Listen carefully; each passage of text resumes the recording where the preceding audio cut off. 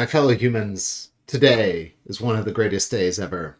Indeed, it is the day when we cover the interstellar medium. Now, some people may claim that this is better described as the interstellar tedium, but those people are wrong.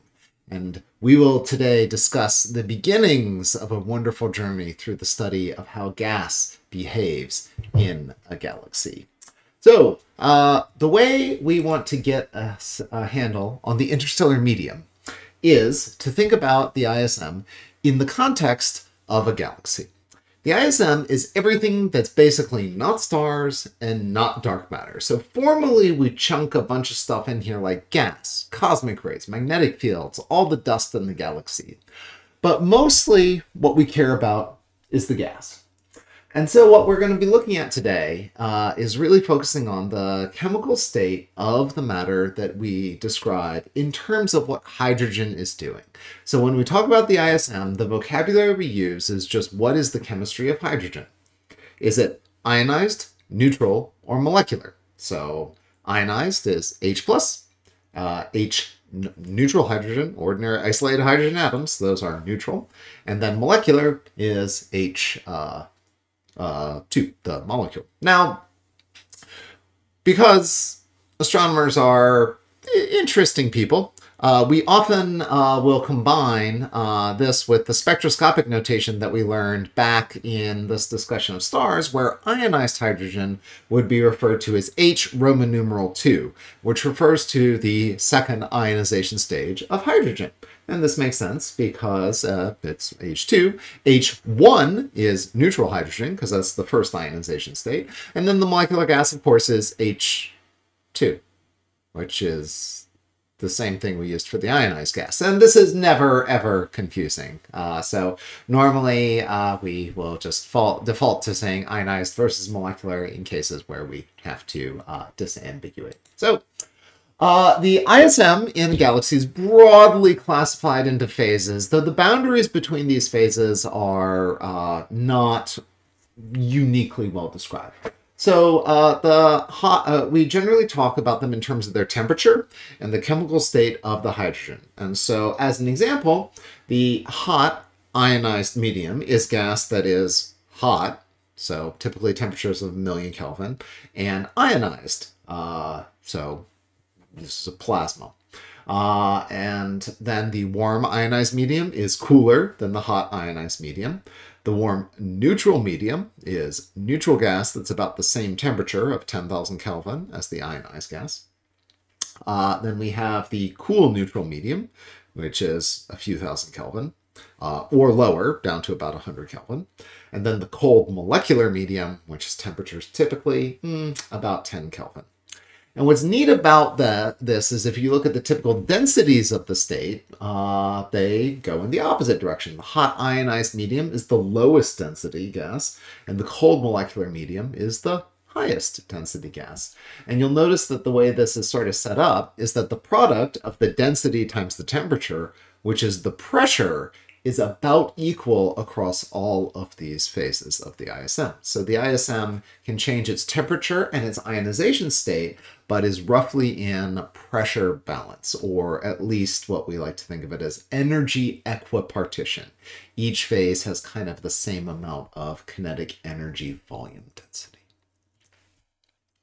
Now to give you a sense of what this all looks like, let's watch a movie. Uh, this is a movie from uh, the SILCC collaboration, which is a high resolution simulation of what the interstellar medium looks like uh, through the galaxy. And so the SILCC project has kindly provided this movie, and let's take a wa watch through. I'm gonna stop it right away and talk about things. These are a, a cubical column through the galaxy. And in the middle is a layer of gas. Uh, and then stuff is going to happen in that layer. The bottom panel shows the top-down view of that box, and they're about 500 parsecs across, and then the vertical scale is uh, thousands of parsecs, a couple thousand parsecs. So this is a slice through the vert, like basically taking a core section through the plane of the galaxy. That's here's the midplane, and then this is the top-down view. Each of these panels shows you a different view of uh, what uh, uh, one of the variables in the galaxy. This is a numerical simulation, so they are just simulating the process of physics over the course of time uh, on a big supercomputer, which is why it's all funky colors. The color bars at the bottom underneath the movie bar uh, indicate where which values are low and high. And so what we see here is these are density plot, uh, temperature. This is the column density, so it's the total column all the way through the volume. Uh, and then this is the uh, densities of the ionized, neutral, molecular gas, and for reasons that we'll discuss a little later, we show carbon monoxide because that's the best tracer of H2 we have observationally. Okay, uh, so let's just watch the movie for a bit. And what makes the SILCC project interesting is it has star formation in it, and with that star formation, it has supernova explosions. And those supernova explosions blow up in the interstellar medium and they cause a flow of material up. And then the gravity of the galaxy sort of will pull it down. And what you can see is the gas in uh, the midplane eventually gets kind of disrupted and converted into molecular gas. But let's go back to the beginning and sort of watch this carving up again.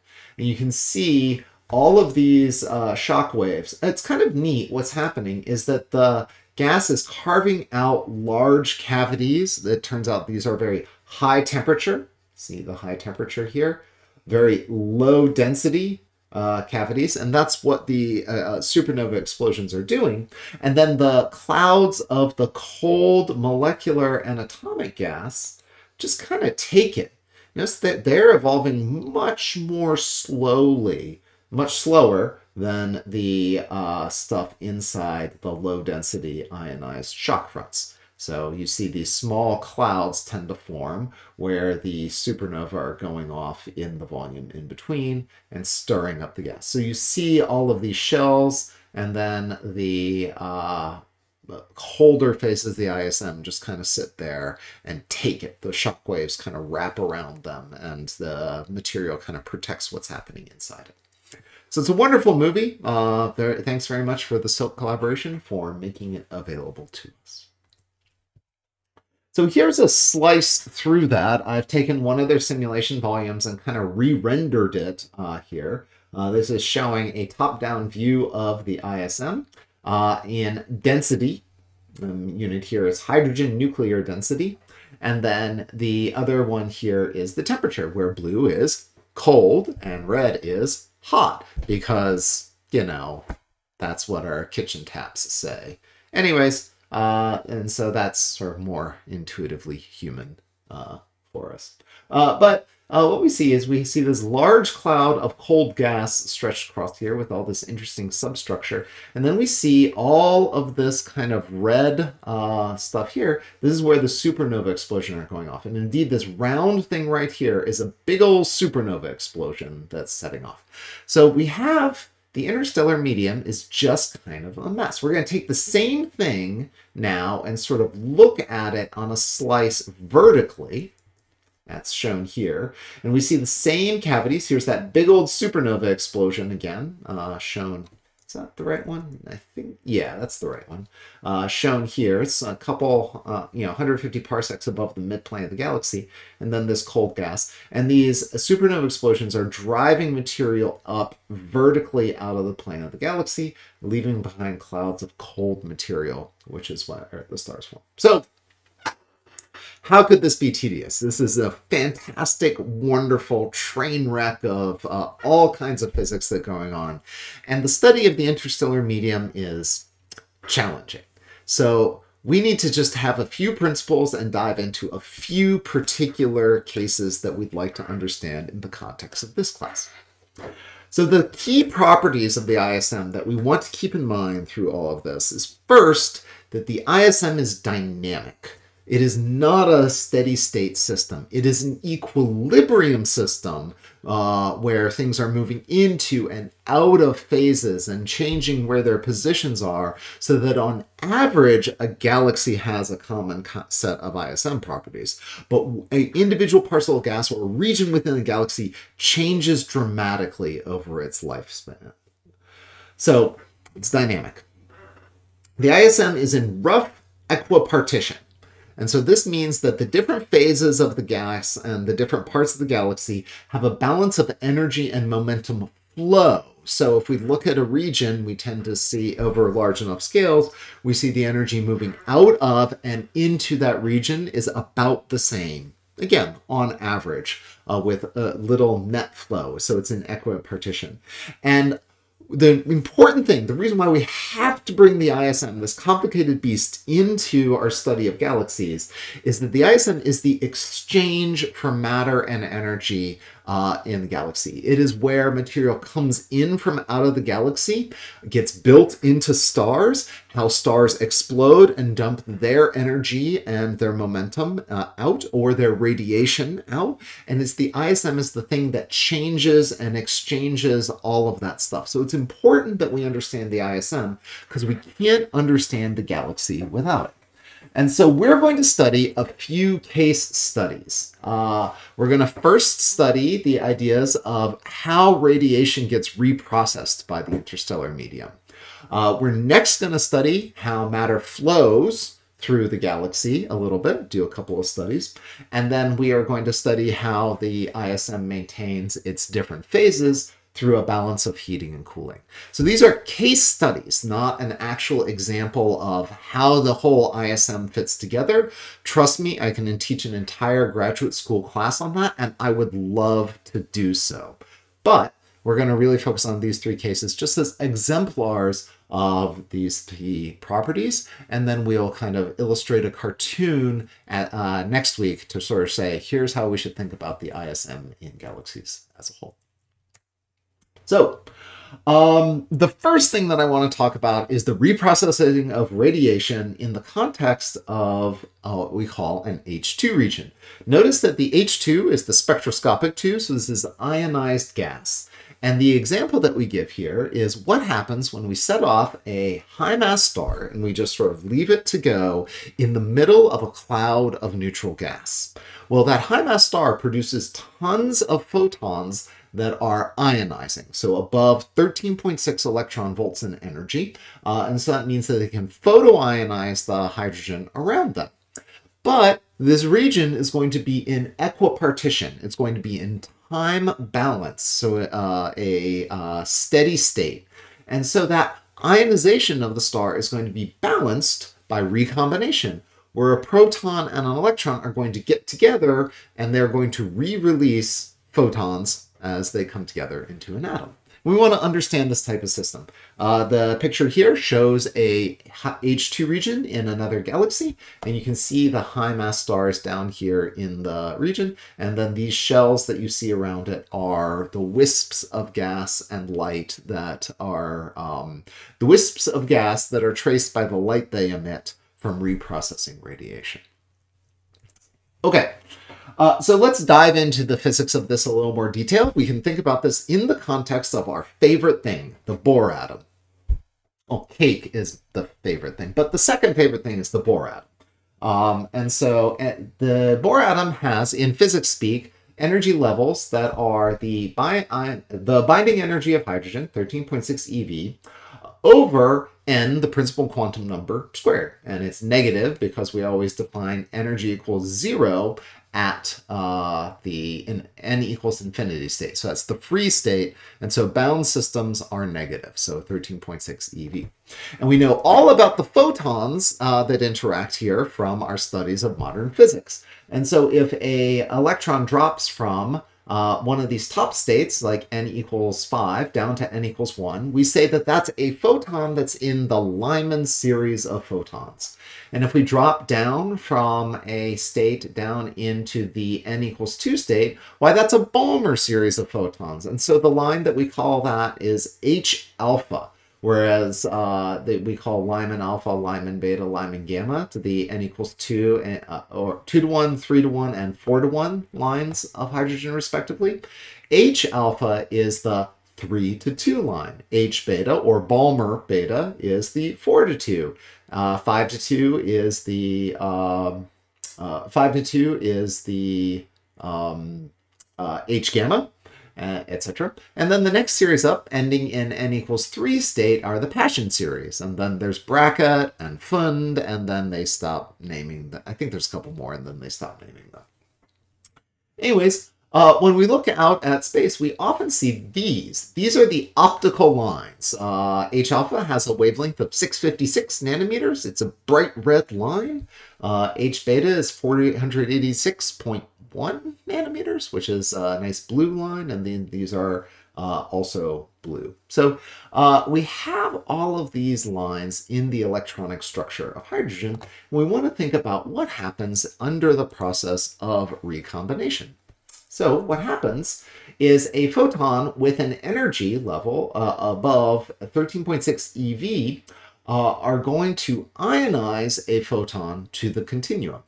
Uh, so Lyman continuum photons uh, are those photons that can start at the n equals 1 state, the ground state of hydrogen, and rip the photon, the electron off of the atom and send it off uh, ionized. So those are called the Lyman continuum. They have wavelengths shorter than 91.2 nanometers.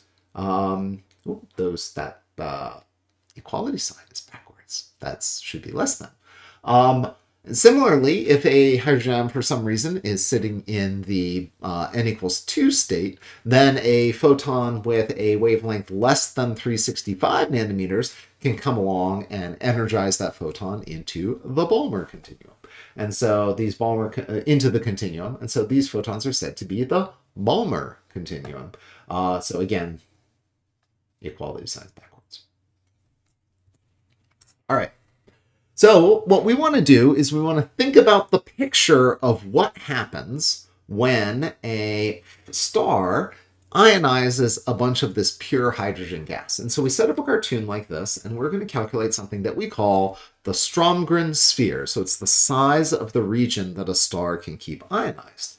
And so inside this Strömgren sphere, uh, it has a radius of Rs. This nice big blue star is ionizing a bunch of hydrogen atoms. But those hydrogen atoms undergo recombination. And so they recombine back down to form neutral gas. And they do that on some characteristic timescale that we will study. And uh, what we're going to find out is that the Strömgren sphere is basically the largest region that that star can maintain the ionized region around it. So we get this nice uh, little spherical shell. So it's a three-dimensional uh, cloud with a gas. How big is that? Well, let's find out. So the things that we need to know to calculate the Strömgren radius, which is the radius of that sphere, is how many photons does this star produce per uh, second? That's the ionizing photons, which you did a homework problem on. Set up and cash that check right here. Uh, the other thing is that we need to know the density of the hydrogen nuclei. We're going to bookkeep everything in terms of the proton, not whether the electron's attached to it or not, uh, but we're going to assume a pure hydrogen atom and we're going to bookkeep everything in terms of the hydrogen nuclei, which are just the protons.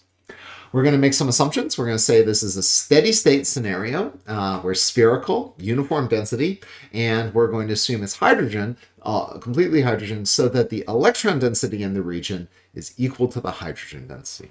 And if you set all that up, you can go into the wonders of a book about uh, the interstellar medium and you can find that the number of ionizing photons has to be equal to the number of recombinations. And so this is just an equilibrium state, is that every photon that leaves the star eventually gets absorbed by one hydrogen atom somewhere within the Strömgren sphere.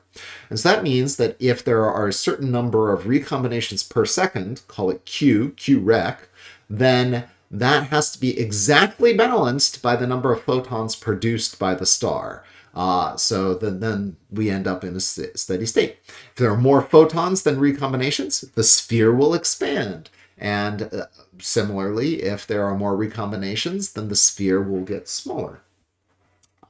Now, what we get out of atomic physics is that the number of recombinations per unit time per unit volume is some function, alpha t, times the hydrogen nuclear den nuclei density, that's the protons, times the electron density.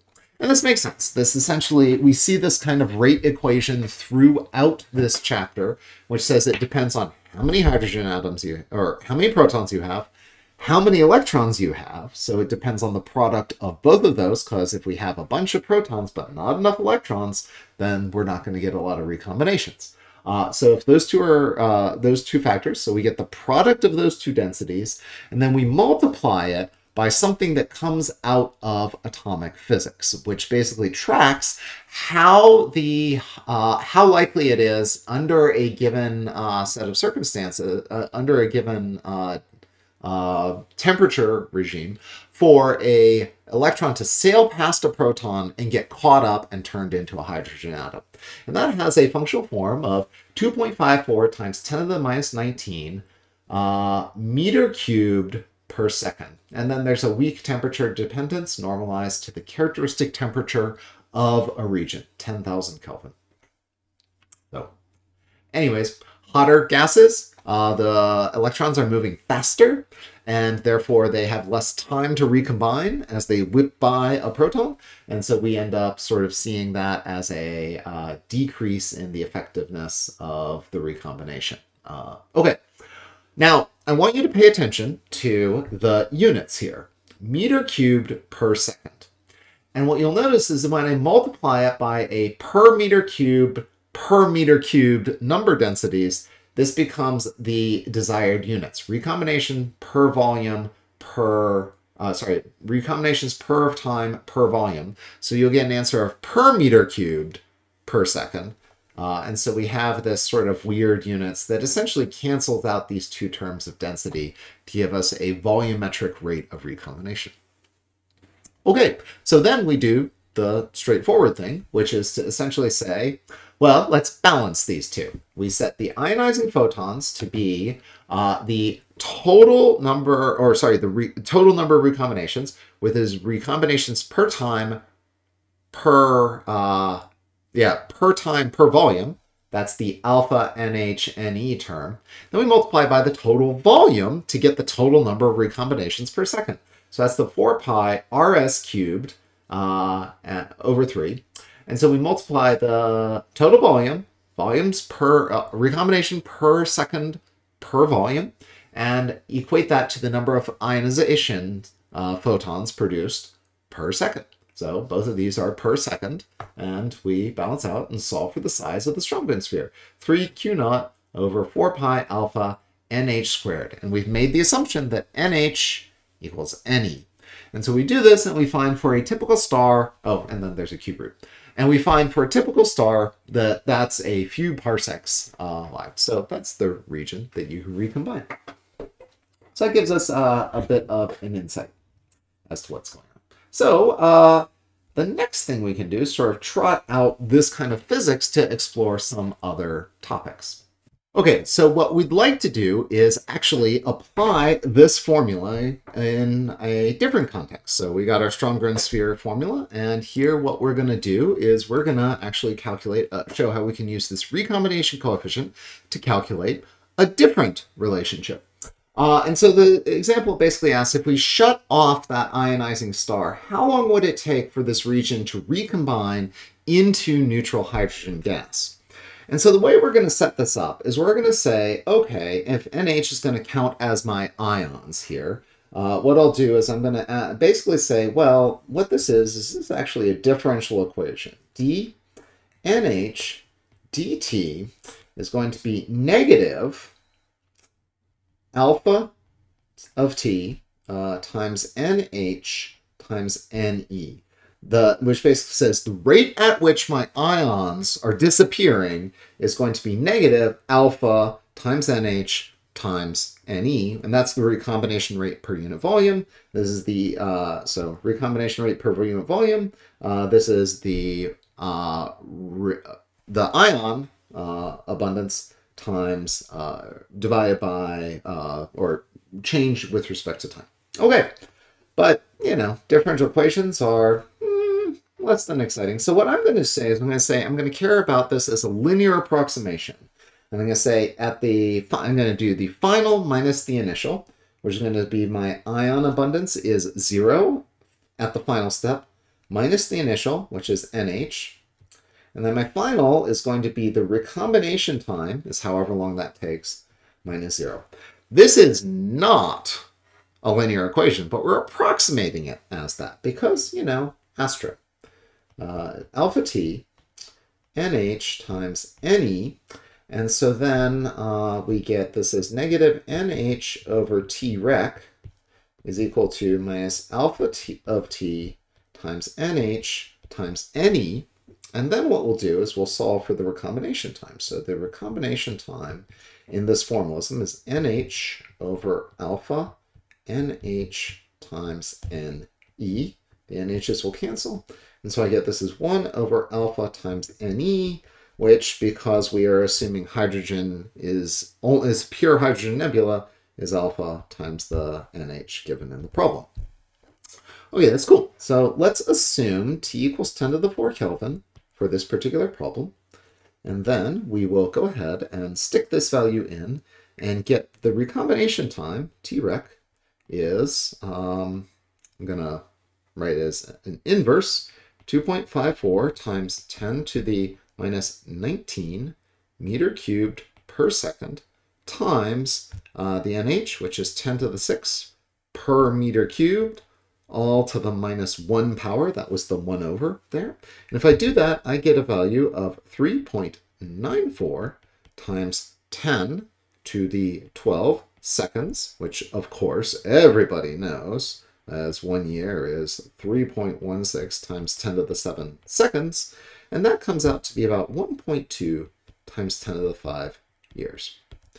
Certainly not instantaneous, but compared to like stellar life lifespans, pretty short. Even the high mass stars have a lifespan of about 3 million years, and so this will shut off in 5% of a high mass star's life. So they'll ionize this region, keep it going, and then it will fade away comparatively quickly on the interstellar medium scale. Okay, the main purpose for doing that is to kind of illustrate this characteristic timescale argument, which we get to uh, right, right here. That's the crux of it. A linear approximation to a complicated differential equation. It's good and establishes a characteristic time. We'll use this kind of reasoning a lot as we go forward. Okay, so the next thing we want to talk about here is how what we're seeing is fundamentally a reprocessing of radiation field. These high energy photons are coming boiling out of the star, and then the interstellar medium gas absorbs those and ionizes and then recombines them.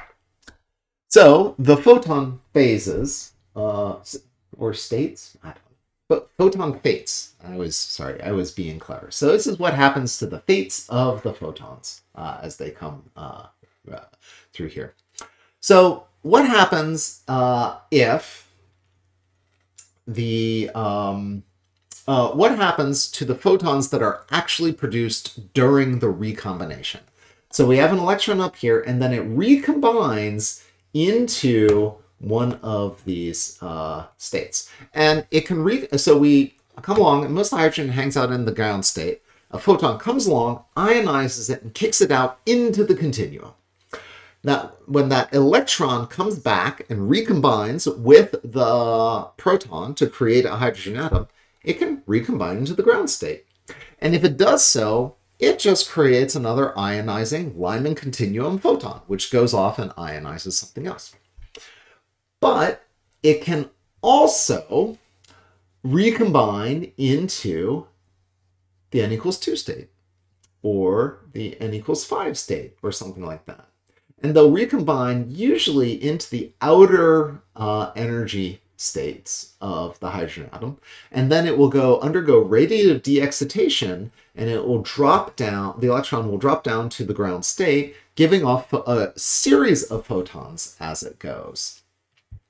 And so uh, it's kind of interesting because if we come here and we recombine straight into the n equals 1, makes another ionizing photon. But if we come down to like n equals 3 and then go from n equals 3 to 1, uh, we end up um, creating a photon that is going to go around, hit another hydrogen in the ground state, and raise it up to the n equals 3 state, and then it can go back down to ground, or it could break that up into a Balmer series photon and drop down and create a H alpha. And then what's left is, so all of these photons end up kind of, if they recombine into anything but the n equals 1 state, you tend to break up the energy from an ionizing photon into lower energy photons, be they in the Balmer, the Paschen, the Pfund series, whatever. What they're going to do is they're going to actually reprocess the ionizing photon into essentially a Lyman photon plus other energy that can leave the HII region. It's optical emission or infrared emission and just flows out because if it sees a photon in the ground state, it will not ionize it. And indeed, under interstellar conditions, most of the uh, hydrogen drops down into the ground state and is hanging out there. So most of the stuff is in the ground state when these photons are moving through the HII region for all of the neutral atoms. So this, when we take a step back, is an example of reprocessing radiation. HII regions are taking ionizing photons, stuff above 13.6 eV, and turning it into lower energy photons. And then if you pay attention, you'll notice that anything from the 2 to 1 state is just going to excite up to the uh, n equals 2 and then back down to the 1, n equals 2 and back down to the 1. So these Lyman alpha photons are also uh, sort of left over, and they kind of leak gently out of the HII region uh, here. But on average, all of these photons get turned into stuff in the Balmer, Paschen, etc. series, plus a single Lyman alpha photon. So it's neat. We've basically gotten rid of an ionizing photon and reprocessed it down into optical radiation plus a Lyman alpha photon. Well, we've already seen an example of reprocessing radiation in the interstellar medium. Uh, and that comes from dust. And we've made a huge stink of this in the terms of extinction, but we also can kind of understand it in terms of re-radiation. So you'll recall that uh, dust is also reprocessing light from short wavelength to long wavelength.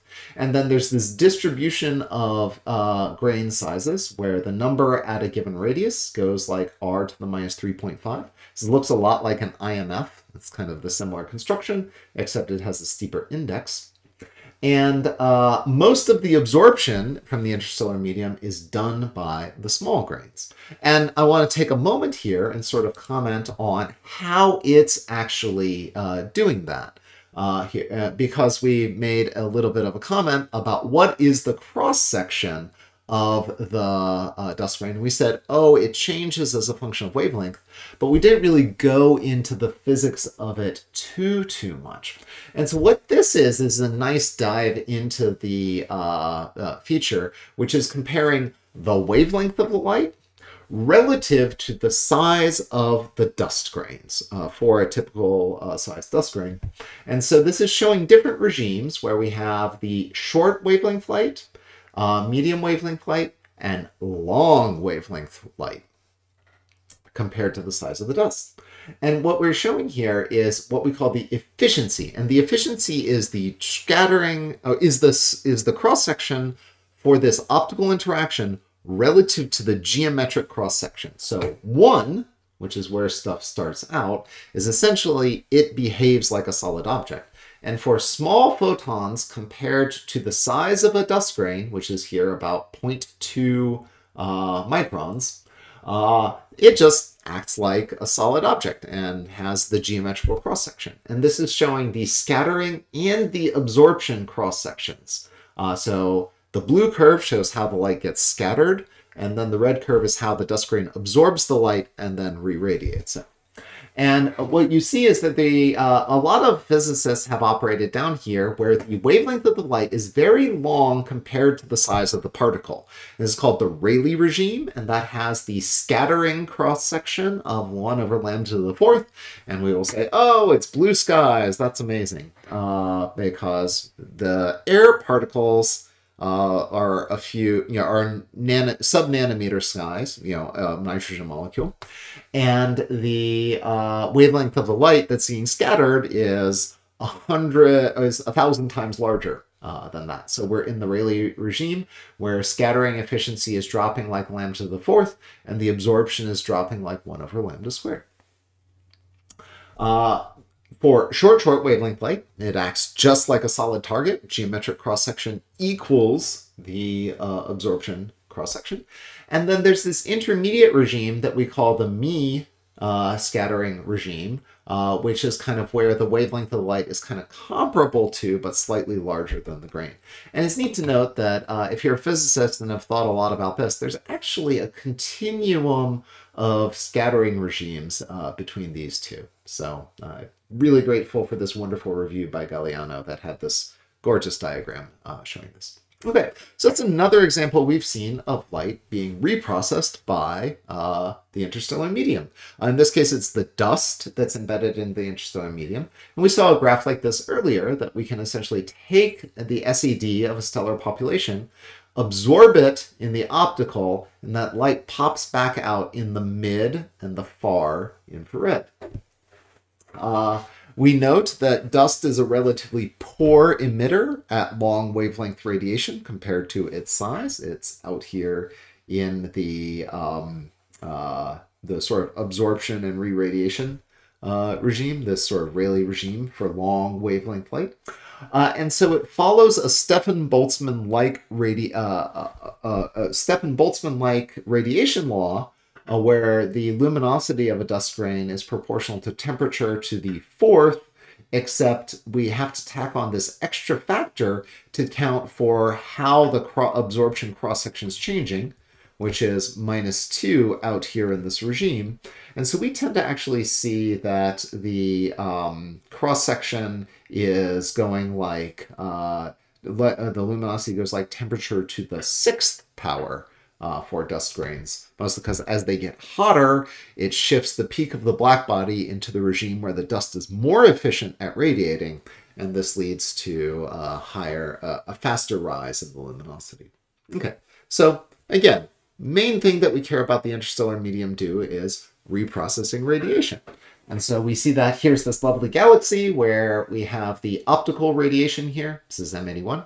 Uh, uh, the optical radiation here is getting reprocessed into the infrared light. And we saw that back in chapter 2 as well. Okay, uh, so the next thing I want to talk about is what is setting the temperature of the ISM. And we're going to come back to heating and cooling a lot next week. But right now, uh, I'll just note that the typical temperature of an HII region is about 8 to 12,000 Kelvin, and we'd like to understand what sets this temperature. Let's put a pin in this, but the thing I want to understand, remind you of right now is the idea that the if we have a temperature, the that's really a statement of the kinetic energy of the particles. And so on a per particle basis, when we say the temperature is 10,000 Kelvin, that means 3 halves kT, whereas this is the Boltzmann K, is equal to 1 half mv squared, again, on a per particle basis. And so this means I want to know how fast are protons moving on average in an ionized gas region. And so uh, we can actually calculate that out. So let's uh, set up our uh, slides to do that. And actually remember to switch. Okay, uh, so what we're going to say is that in this region, we have 1 half m v squared is equal to 3 halves kt. And so what we're going to do is uh, we want to use the temperature T, and we're going to use the properties of a hydrogen particle, the proton, uh, which has this mass right here. Okay, Uh, so we're going to actually solve for v here, which is uh, cancel the 2. And so v is equal to root 3kt over m.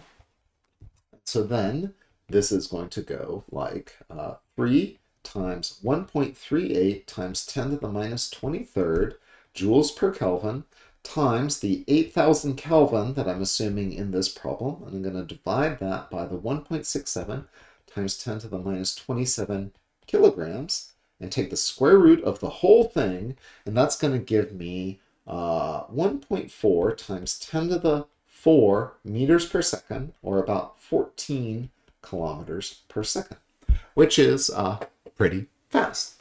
Now, this is closely related to, oops, let's do that, to the sound speed.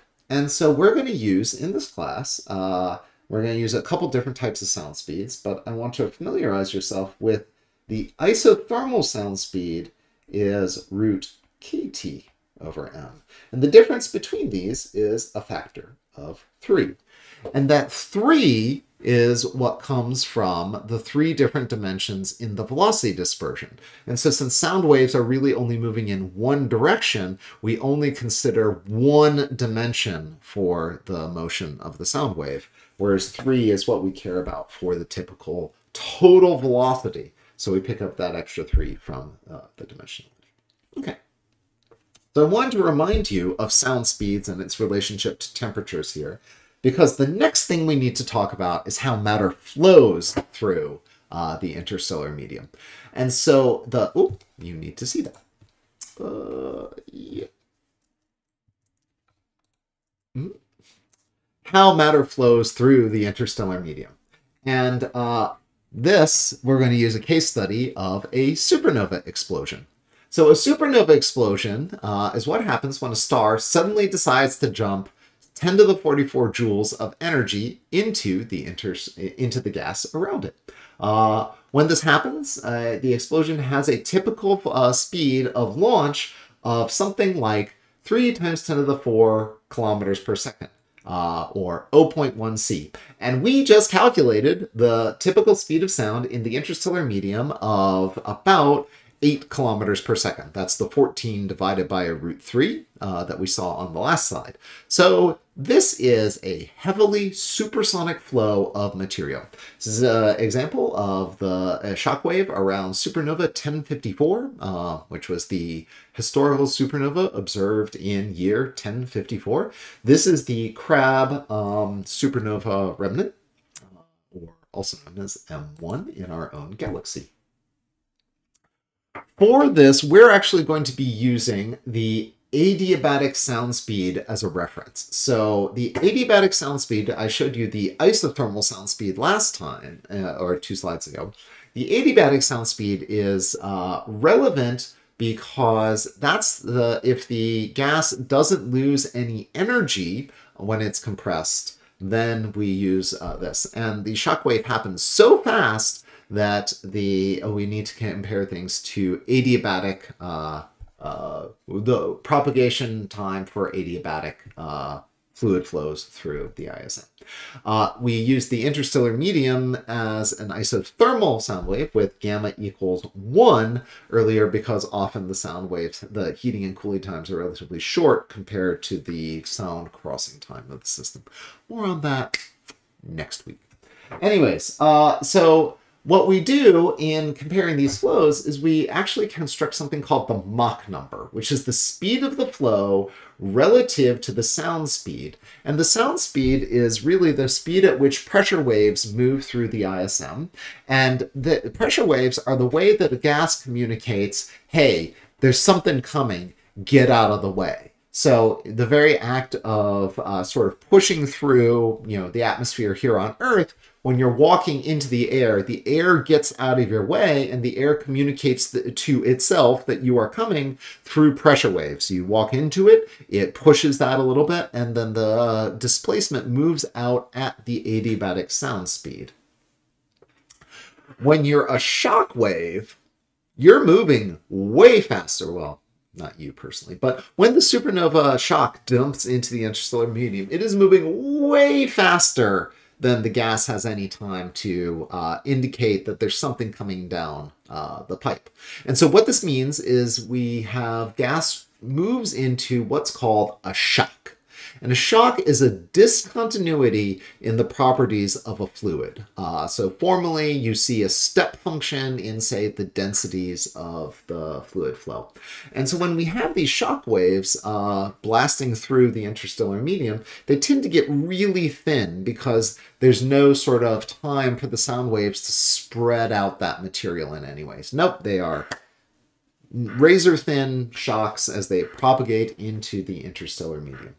So we, we want to do is sort of understand a bit about how those shocks flow. And we're going to set up a classic interstellar medium galactic physics problem called the Sedov solution to describe how this supernova shock front expands. And we're going to imagine this as a spherical explosion and it's going to set off a shock wave here, and we're going to describe it in terms of the radius r and how that increases with time. So it's going to move outward as a function of time into some ambient gas with a density of uh, rho naught.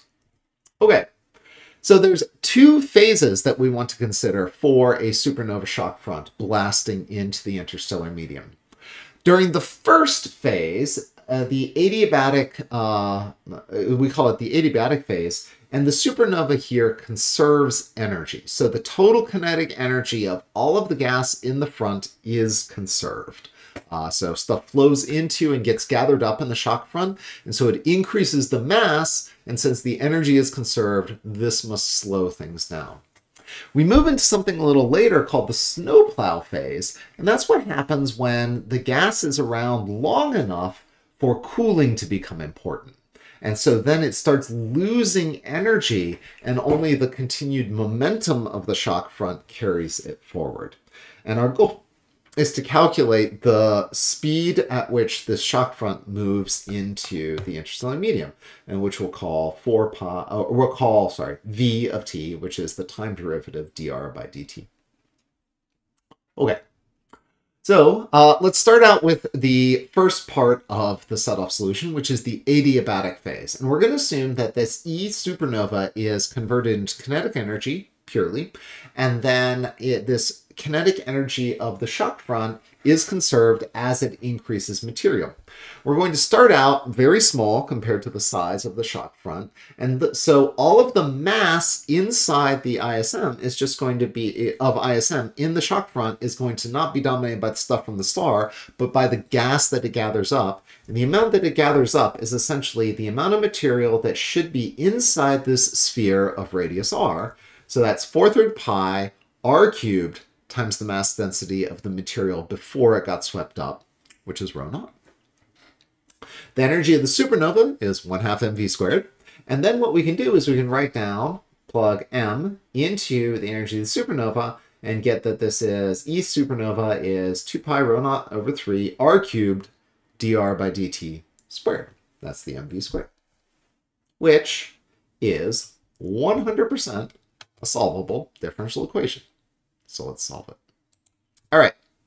Uh, so we want to solve for what R and what V are for this uh, supernova explosion. And so what we can do is we'll isolate all this and turn this into, or we'll isolate uh, the variables, which is basically R cubed times dr by dt squared, and then we'll push all the constants to the other side, is equal to 3 energy of the supernova over 2 pi rho naught. Okay, so far so good. This is a good uh, case where we're going to just try a solution.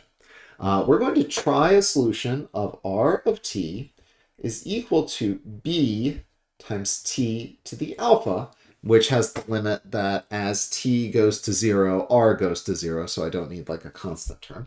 I'm just going to directly substitute this in here, and then dr by dt is going to be b alpha t to the alpha minus 1. Okay, so let's plug these in. So we get uh, b cubed t to the 3 alpha from the r cubed term. And then we're going to get b squared alpha squared t to the 2 alpha minus 2, that's the dr by dt quantity squared term, and then that's equal to 3e supernova over 2 pi rho naught. That's also known as a constant. And let's collect some terms. So we get the b to the fifth, then we get an alpha squared, then we get a t to the 5 alpha minus 2 is equal to a constant. Oh, it's equal to a constant. So that means that there can't be any time variability to this. So that means that 5 alpha minus 2 must equal 0, and so alpha must equal 2 fifths. We've solved for what the radius has to be. Okay, that's that's pretty cool. Uh, so we know that r goes like uh, t to the 2 fifths. Uh, dr by dt is some derivative of that. That's cool. And then we can return to this formula here and calculate what b has to be. So what does b be? Okay, well, that says that b to the fifth times alpha squared, alpha is 2 fifths, so alpha squared is 4 25ths, times t to the 5 alpha minus 2. That's uh, 0, or sorry, that's 1, t to the 0 uh, is 1, is equal to 3 e supernova over 2 pi rho naught. And so then I can solve for what b is. b is equal to b to the fifth, let's not go all in all the time, is 75 e supernova over 8 pi alpha naught. And so then b is equal to 75 e to the supernova over 8 pi alpha naught. Uh, oh, sorry, I have switched alphas. This is a rho, you fool.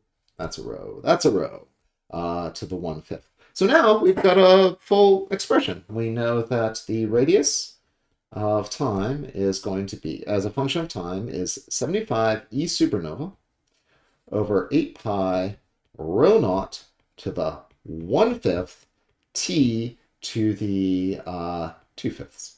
And then the time derivative of that uh, is going to be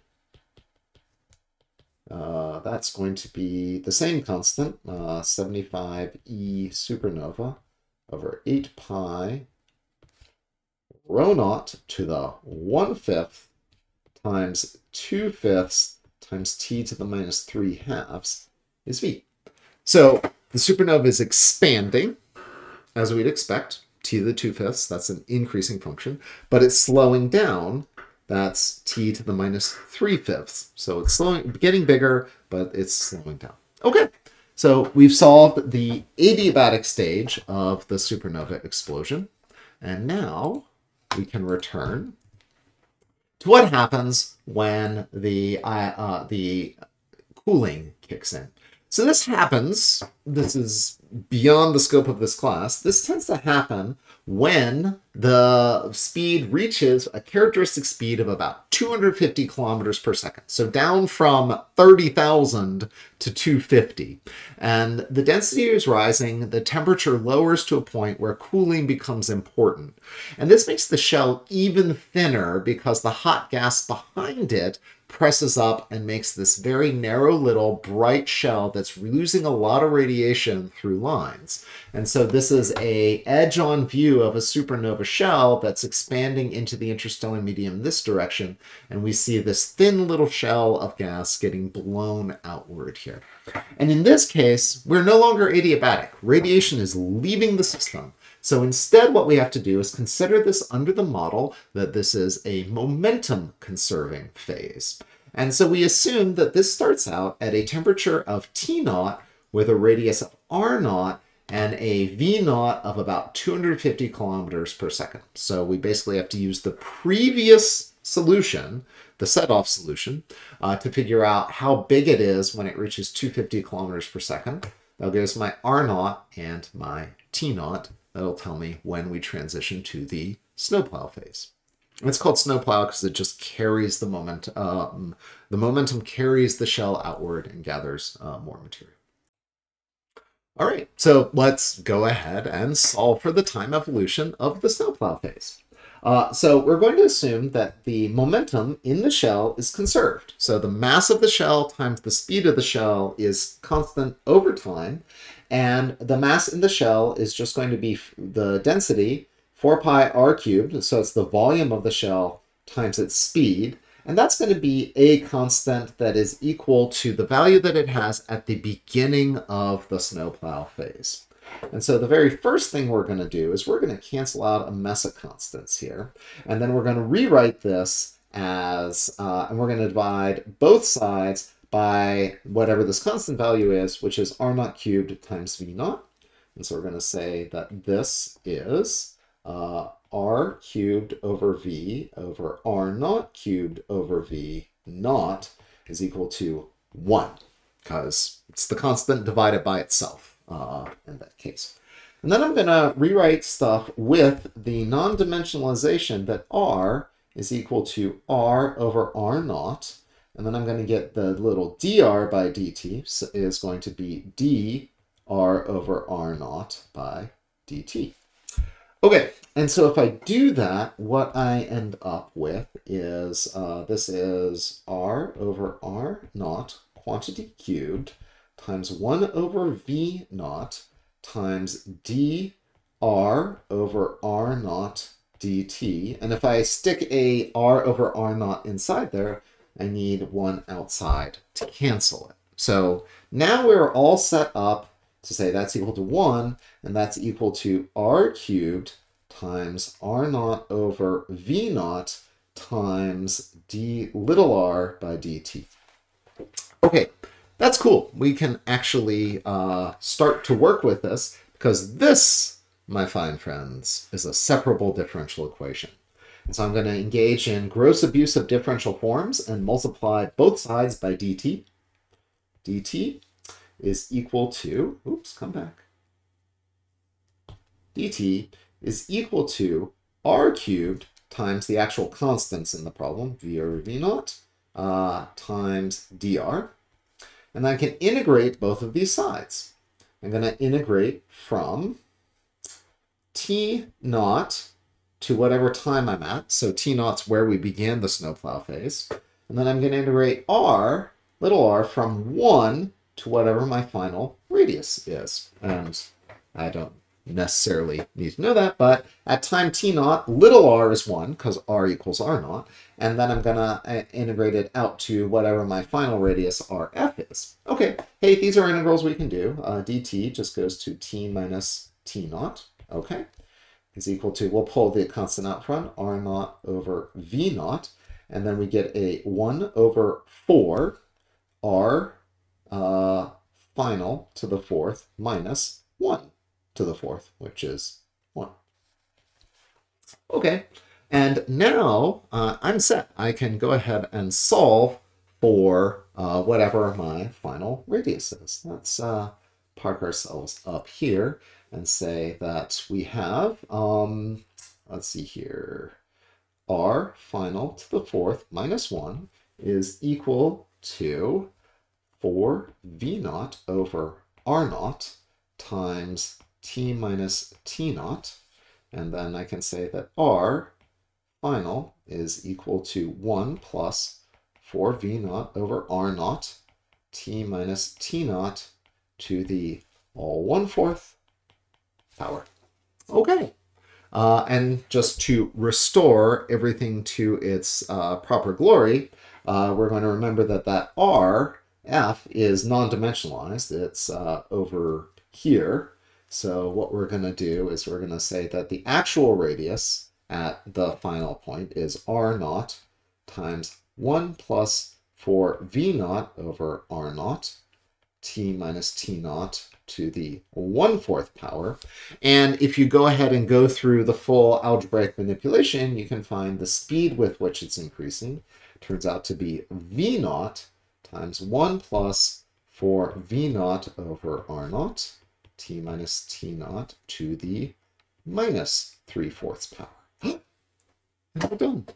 So this again has the property that it's getting larger, or it's going larger, r is going up like t to the 1 fourth, Uh, and but it's slowing down, like uh, so the v is dropping off like t to the minus three fourths, and that gives us what we need uh, to describe the Sedov solution. So, um, then we raise the question of what happens at the end. How does this come to a conclusion? And that happens when the speed approaches the sound speed of the ISM and is no longer supersonic. And in that case, it no longer has any uh, resistance to the other flows of gas moving around in the ISM. As a result, at that point, the external forces in the ISM will dissipate the shock waves. And this typically takes about 300,000 years for a supernova. So over that time, this supernova explosion will be washed away and mixed in with the ISM as it slows down and is no longer pushing hard into the ISM. All right. That brings us to the end of our two case studies here. We'll cover heating and cooling and the general model for ISM uh, next week. Uh, but for now, uh, have a good time and good luck on your assignments.